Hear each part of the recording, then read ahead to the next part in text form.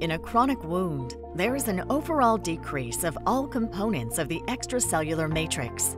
Cells lose their ability to proliferate and as a consequence end up in apoptosis.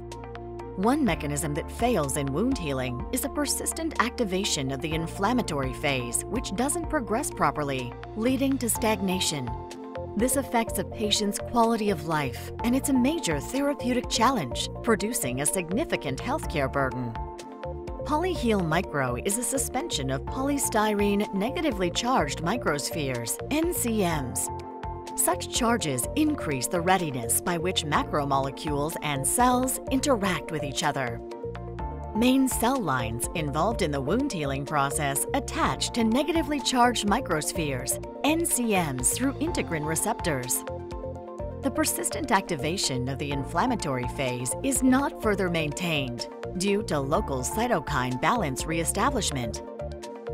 NCMs also mimic the functions of native extracellular matrix, providing an additional surface area for cell attachment, enabling cells to activate the processes aimed to wound healing.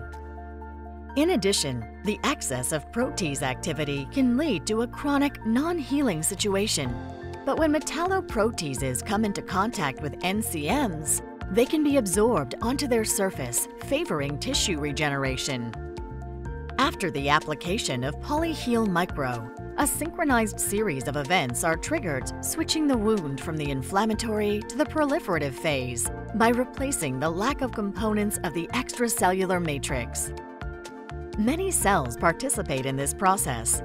Fibroblasts produce collagen needed to repair the defect, and endothelial cells promote angiogenesis, which is essential for regeneration of tissue during wound healing.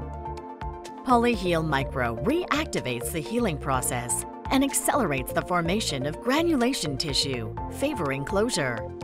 The safe, simple, and effective administration of Polyheal Micro solves the challenges of chronic wounds management reducing the expense in wound care and hospital burdens, and offers patients the possibility of a quicker return to a normal life.